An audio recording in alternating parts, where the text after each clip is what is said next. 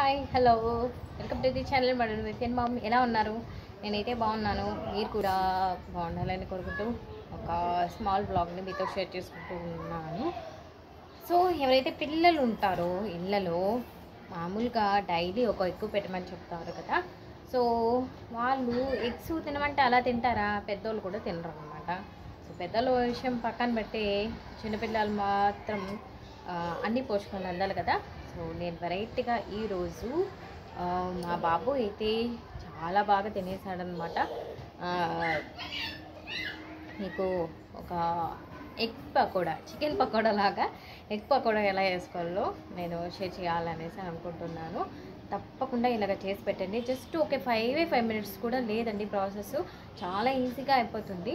So పిల్లలు చాలా బాగా తింటారు. అండ్ ఈవెన్ పెద్దోళ్ళు కూడా వెరైటీగా కావాలి అనుకున్న వాళ్ళు ఇలా చేసి పెట్టారనుకోండి చాలాసార్లు చాలా చాలా బాగా ఇష్టంగా తింటారనమాట. ఎవరైనా కొత్తగా ఛానల్ చూస్తున్నట్టయితే తప్పకుండా సబ్స్క్రైబ్ చేసేసుకోండి. అండ్ ఈరోజు మా చింతల్లి అసలు ఒక క్లిప్ని యాడ్ చేస్తాను ఇందులో.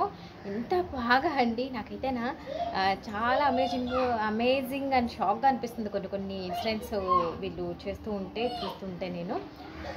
అండ్ ఇంకోటి ఏంటంటే మనము పిల్లల్ని జస్ట్ త్రీ మంత్స్ వరకే మనము కొంచెం ఇబ్బంది పడతాం అంతే అండి త్రీ మంత్స్ తర్వాత మనం ఎలా వాళ్ళని మౌల్డ్ చేస్తామో అలాగే తయారైపోతారనమాట సో మనం ఎలాగ మలుచుకుంటామో వాళ్ళు అలాగే తయారైపోతారనమాట ఈవెన్ యూరిన్ కానీ మోషన్ కానీ ప్రతి ఒక్కటి నా పిల్లలకైతే అండి. త్రీ మంత్స్ అయితేనే నేను ఇబ్బంది పడతాను. త్రీ మంత్ కంప్లీట్ అయ్యి ఫోర్త్ మంత్ ఎంటర్ అయింది అనుకోండి నాకు ఈ యూరిన్ కానీ మోషన్ కానీ దేనికి ప్రాబ్లం లేదనమాట ఇంకా ఇంకోటి ఏంటంటే మనకు పిల్లలకి జలుబు చేసినప్పుడు చాలా ఇబ్బంది పడతారు కదా. చాలా ఇరిటబుల్గా ఫీల్ అవుతారు కదా.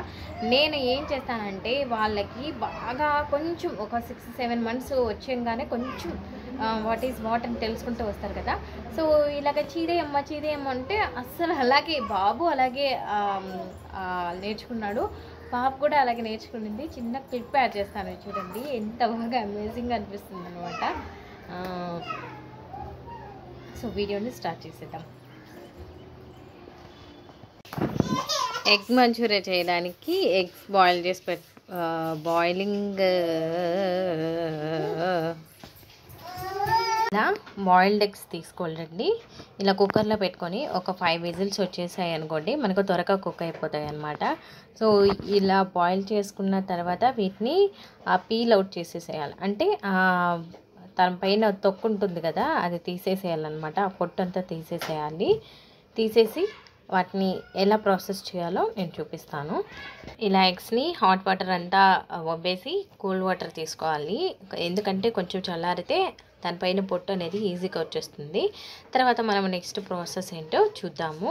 దీనికి ప్యాటర్న్ రెడీ చేసుకుందాము ఇక్కడ నేను కొంచెం గోధుమ పిండి తీసుకున్నానండి. కొంచెం అంటే ఒక టెన్ టేబుల్ స్పూన్స్ గోధుమ పిండి తీసుకున్నాను. దీంట్లో నెక్స్ట్ నేను ఏమి యాడ్ చేస్తానంటే కొంచెం కలర్ పొడి యాడ్ చేస్తున్నాను. కొంచెం అంటే కొంచెమే. ఎందుకంటే చికెన్ పకోడా మాదిరిగా కలర్ ఎఫెక్ట్ రావాలనేసి యాడ్ చేస్తున్నాను. ఫుడ్ కలర్ ఇష్టం లేని వాళ్ళు అలాగే డైరెక్ట్గా చేసుకోవచ్చు అనమాట సో ఇందులో మళ్ళీ నేను ఆచే చికెన్ మసాలా వేస్తున్నాను అనమాట ఆచే చికెన్ మసాలా ఒక టేబుల్ స్పూన్ వేస్తున్నాను. సో ఒక టేబుల్ స్పూను. అండ్ అలాగే ఇందులో అల్లం వెల్లుల్లి పేస్టు వేయాలి. అల్లం వెల్లుల్లి పేస్టు అండ్ సాల్ట్ ఒక స్పూను వేసేసి సో దీన్ని బాగా మిక్స్ చేసుకోవాలి. అది ఎలాగో చూపిస్తాను. సో కొద్దిగా వాటర్ వేసేసి దీన్ని అంతా మిక్స్ చేసుకోవాలండి. మిక్స్ చేసిన తర్వాత ఎలా వస్తుందో బ్యాటర్ చూపిస్తాను. ఆ కన్సిస్టెన్సీలో తీసుకోవాలి మనము. చూడండి మనకు ఇలాగా కన్సిస్టెన్సీ ఇలా ఉండాలన్నమాట. కొంచెం ఇడ్లీ బ్యాటర్ అనుకోండి ఇడ్లీ బ్యాటర్ లాగా ఉండాలన్నమాట. సో ఇలాగుంటే మనము ఎగ్స్ ఇందులో వేసినప్పుడు బాగా డిప్ అవుతాయి అందులో. సో ఇలా బ్యాటర్ ప్రిపేర్ చేసుకోవాలి. సో నెక్స్ట్ ప్రాసెస్ ఏంటో చూద్దాం. సో మనము ఎగ్ షెల్ని పీల్ అవుట్ చేసామన్నమాట. సో ఎగ్స్కున్న పొట్టుని తీసేసాము. తీసేసిన తర్వాత వీటిని ఎలా కట్ చేసుకోవాలో చూపిస్తాను. ఇలా ఎగ్ని హాఫ్కి కట్ చేసేసి అంటే రెండుగా కట్ చేస్తాం కదా ఆ రెండింటిని మళ్ళీ నాలుగు నాలుగుగా కట్ చేయాలన్నమాట. ఇదంతా ఒక హాఫ్ అనుకోండి. ఈ నాలుగు పీసెస్ ఒక హాఫ్. అలాగా అన్నీ హాఫ్ హాఫ్గా కట్ చేసుకోవాలి. తర్వాత ప్రాసెస్ ఏంటో చూద్దాం. మనం ఈ బ్యాటర్ ప్రిపేర్ చేసి పెట్టుకున్నాం కదా ఈ బ్యాటర్లోకి ఈ ఎగ్స్ అన్నీ తీసేసి ఒక్కొక్కటి ఒక్కొక్కటి వేసేసేయాలి అనమాట సో ఇలా వేసేయాలి. ఇలా వేసి ఇలా డిప్ చేసుకోవాలి స్పూన్తో.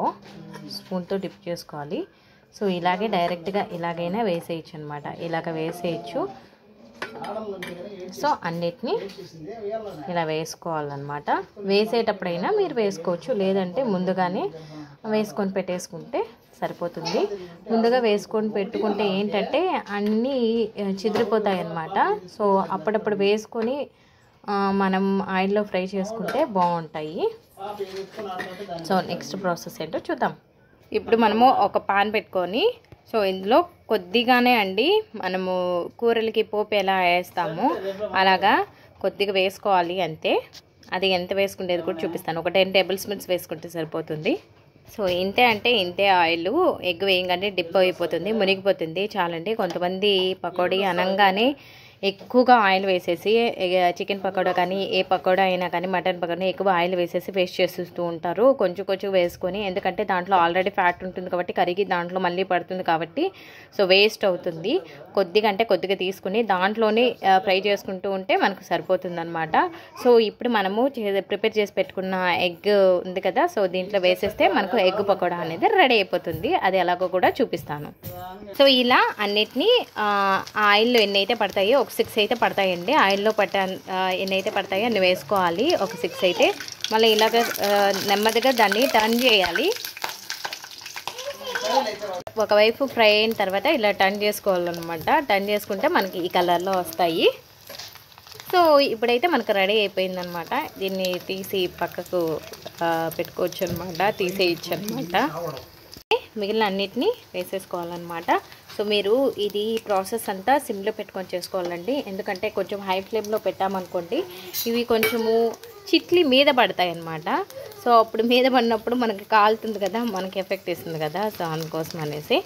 సో ఇవి పైన టర్న్ చేసి వేసుకుంటే రెండు వైపులా మనకి ఫ్రై అయిపోతాయి. సో ఎక్కువ ఆయిల్ వేసుకొని అంతా ఆయిల్ వేస్ట్ చేసుకొని అలా చేసుకోకుండా నెక్స్ట్ మనం దాన్ని ఈ నాన్ వెజ్కి చికెన్ పకోడాలకి వేసినోటి మళ్ళీ దేనికి వాడము ఒకసారి ఆయిల్ ఫ్రై చేస్తాను ఇంకోసారి వాడాలంటే అది హార్మ్ఫుల్ కదా. సో ఇలా కొంచెం కొంచెం వేసుకొని చేసుకుంటే మనకి అన్నీ బెనిఫిట్గానే ఉంటాయన్నమాట. దీన్ని టర్న్ చేసేసి తీసేస్తాను. ఫైనల్గా ఇలా వస్తాయి. ఇలా వస్తాయి చూడండి. చాలా బాగుంటాయి. ఒకసారి ట్రై చేయండి. ఇదే మన ఎగ్ పకోడా. మా బాబు తీసేసుకుంటున్నాడు. ఇక్కడ చూడండి దల్విట్టు మొబైల్ పెట్టుకొని ఇంకా నేను ఎగ్ పకోడా వేసి ఇచ్చాను కదా. ఇంకా అవి తింటూ ఉన్నారనమాట ఏమైతే ఏముందండి పిల్లలు తినడమే కదా మనకు కావాల్సింది. సో వాళ్ళు ఏదో ఒక రూపంలో వాళ్ళకి అందాల్సిన పోషకాలు అందితే చాలన్నమాట. ఆయిల్ ఫుడ్ అనుకోవచ్చు. బట్ వీళ్ళకి ఇప్పుడు గ్రోతింగ్ స్టేజ్లో ఉన్నారు కాబట్టి ఏం ప్రాబ్లం ఏమి ఉండదు. దాన్ని ఆల్రెడీ టిష్యూతో నేను పీల్ అవుట్ చేసేసేసి ఆయిల్ అంతా తీసే ఇచ్చాను. మీరు కూడా అలాగే చేయండి. పిల్లలు తినడమే కదా మనకు కావాల్సింది. సో మొత్తానికి నా హెల్ప్ లేకుండా తినేస్తున్నాడు. సో పిల్లలు బాగా తినాలి. పిల్లలకు ఏదో ఒక రూపంలో వాళ్ళకి అందాల్సిన పోషకాలు అందాలంటే ఇలాగ వెరైటీ వెరైటీలు చేసి పెట్టామనుకోండి కలర్ఫుల్గా కలర్ఫుల్గా ఉండే వాటికి అట్రాక్ట్ అవుతారు. చూడండి మా తల్లి ఏం ఆడుతుందో. నేను నేను నా పాటికి నేను పని చేసుకుంటూ ఉంటే ఈమె ఏం పాటికి ఆడుకుంటుంది అనమాట వాళ్ళ డాడీతో కలిసి. సో దానితో ఒక పక్క తింటున్నాడు. పాప ఒక పక్క ఆడుకుంటుంది. అండ్ వాళ్ళ డాడీకి కూడా పెడతాను రా అని పిలుస్తున్నాడు. అలా ఉంటుందన్నమాట వీళ్ళిద్దరి ప్రేమలు. అది బాగా ఇప్పుడిప్పుడే వేసాను కాలుతున్నాయి. పెడతాడండి చూడబ్బి ఇంకేడు చూడు ఏమే ఆడుతుంది. సో మొత్తానికి నా ఎగ్ పకోడా. బాగుంది. ఫస్ట్ టైమే చేశాను. ఫస్ట్ టైం ఫస్ట్ టైం ఏంటండి దాని విత్ తినుకుంటూ ఉంటే ఏదైనా వెరైటీగా ట్రై చేద్దాము అని అనుకున్నాను. సో ట్రై చేశాను. ఇంట్లో అందరికీ బాగా నచ్చిందనమాట సో మొత్తానికి తిన్నారు. హ్యాపీగా ఫీల్ హ్యాపీ అనిపిస్తుంది. ఇక్కడ చూడండి. అక్కడెక్కడ ఆకాశంలో ఫ్లైట్ పోతుంటే ఈ ఫ్లైట్ చూసి రే బాయ్ అని అంట. ఏ బాయ్ అని చెప్తున్నాడు ధన్విత్ అలా చేస్తుంటారు. మా ధన్విత్ మా వే ధన్విత్ వేషాలన్నీ ఇలాగ ఉంటాయి డాడీ కూర్చోయిపోతున్నాడు. అసలు ఊర్లో ఉండని లేదు అసలు ఇంటికి వచ్చేంత వరకు మారం చేశాడు. రావాల్సిందే రావాల్సిందే అని అనేసి మారం చేశాడు అనమాట సో చేసేదేం లేక వచ్చేసాము. అలా చేస్తాడు. లేదంటే ఇంకా కొద్ది రోజులు ఉండేదాన్ని. మేము బయటకు వెళ్ళేసరికి చూడండి పాప ఏం చేసేసిందా. అలా చేస్తుందన్నమాట. క్షణాలలో ఇలా తీసి అసలు బయటకు వెళ్ళలేదు. జస్ట్ అక్కడికి వెళ్ళాను. ఆలోగా పెరికేసింది అనమాట ఇదంతా. ఇప్పుడు తినకూడదు కదండి. వెంట్రుకలు తీపించేంత వరకు తినకూడదు కదా. వాష్ చేసుకున్నావరా? హ్యాండ్స్? అలా చేయకూడదమ్మా. మేము ఇలా మళ్ళీ అలా మళ్ళీలోగా నువ్వు అన్నీ చేసేస్తావు. మళ్ళీ ఏడుస్తావు. సరా నేను ఎంత వేసాను? కొద్దిగా ఆయిల్ వేసాను. నాకు నేను వేసిన ఎగ్స్ అన్ని ఫ్రై అయిపోగా మళ్ళీ ఆయిల్ ఇంత మిగిలిందనమాట. సో కొద్ది కొద్దిగా ఆయిల్ వేసుకొని మనము మనం ఎంతైతే క్వాంటిటీ తీసుకుంటామో అవంతా వేసుకోవచ్చు అనమాట సో ఎక్కువ ఆయిల్ తీసుకొని దాన్ని పడేయడం కంటే తక్కువ తక్కువ ఆయిల్ తీసుకొని ఇలా చేసుకోవడం బెటర్. నాకు తెలిసినంత వరకు. మీకు ఇష్టమైతే ఫాలో అవ్వండి లేకపోతే వదిలేయండి. నేను వచ్చినప్పుడు ఎలా బయటకు తీసేయాలి అనేది కూడా నేర్పిస్తున్నాను. తల్లి ఎంత చిన్న తల్లికి ఎంత తెలిసే చూడండి. అసలు